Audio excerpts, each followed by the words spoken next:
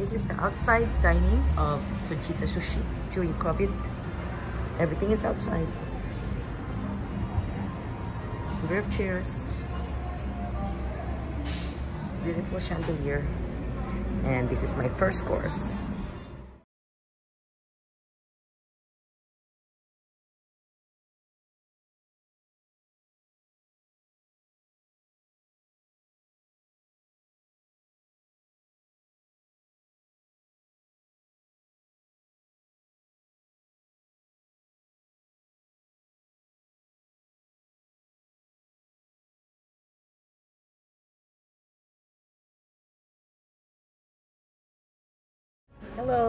So this is the omakase course and this is now the final one where I get all the sushi. Um, I don't know the names, so I'm just gonna tell you. It looks really good. Enjoy my video.